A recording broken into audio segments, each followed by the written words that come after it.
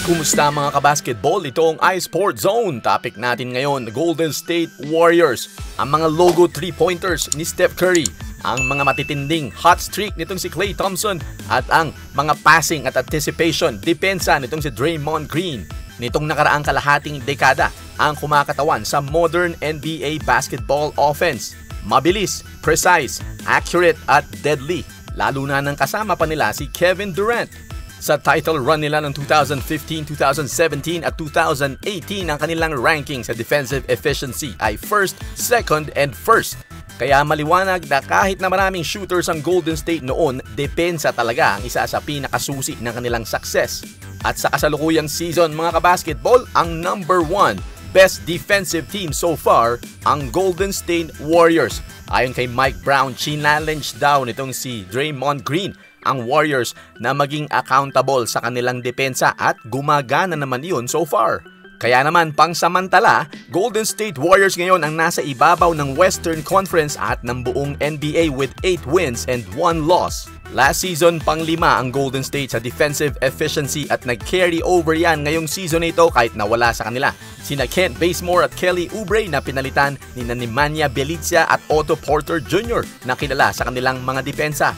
Ayun lang dahil sa pagpasok nitong dalawa ay nabawasan ng kalahati ang playing time ni Juan Toscano Anderson na maganda rin ang pinakitang depensa nung nakaraang season. Bukod sa impluensya ni Draymond Green na matutong magbantay ng iba't ibang posisyon kahit na magkapalit-palit ang IQ nito sa mga pasahan at sa paikot ng bola. Alam niya kung saan dadalin lalong-lalo na papunta kay Steph Curry. Nakita niyo naman yung mga pukol na yun na napakalalayo Si Draymond Green ang naglalatang ng lahat at nagsisimula at doon sumusunod ang mga veterano. Diyan pumapasok ang mga kagaya nitong si Andre Iguodala na nagbabalik Warriors. Ang IQ niyan ay halos kamukha rin ni Draymond Green mapadepensa o opensa man. At malaking pakinabang yan sa mga batang Warriors na natututo sa eksperyensya ng mga veterano. Sama mo pa itong si Kevon Looney na ang ganda rin ng pinapakita sa depensa at si Andrew Wiggins na dati binabatikos sa kanyang depensa pero ngayon ay natuto na at naging primary defensive stopper nila sa wing. At isa pa riyan ay wag nating echepuera itong si Steph Curry na ayon kay Coach Steve Kerr ay napaka-underrated ang nilalarong depensa. Dahil nga sa tindi ng kanyang scoring at shooting ay hindi nakikita kung gaano siya ka-epektibo at kung paano siyang magtrabaho sa defense. At syempre nandyan na ngayon ang pinaka pinagpipitagan ng Bay Area na si Gary Payton II, ang anak ni Gary Payton, na marami nang ginawang defensive highlights bukod sa kanyang mga poster dunks. Trabaho daw ni Gary Payton ang guluhin, bulabugin ang mga opposing guards court to court at masakit yan para sa kalaban dahil off the bench ang laruan nito kaya pagpasok nito full energy at itong si Nemanja Bjelica ay malaki na ang ini-improve sa kanyang defense.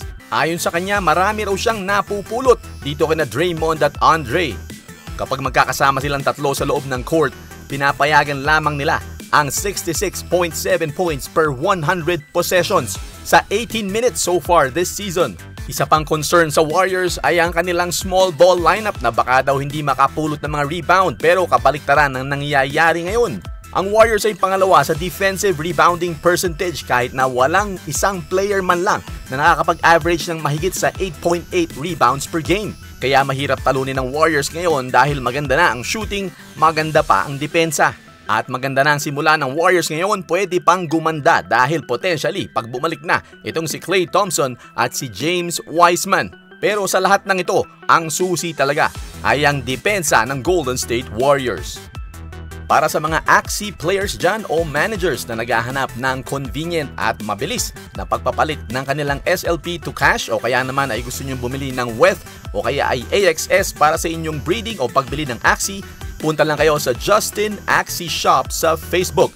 I-search lang sa Facebook Justin Axie Shop o kaya i-type sa browser fb.com slash Justin Shop. Mag-iwan ng comment, click like, share, and subscribe. This is iSport Zone.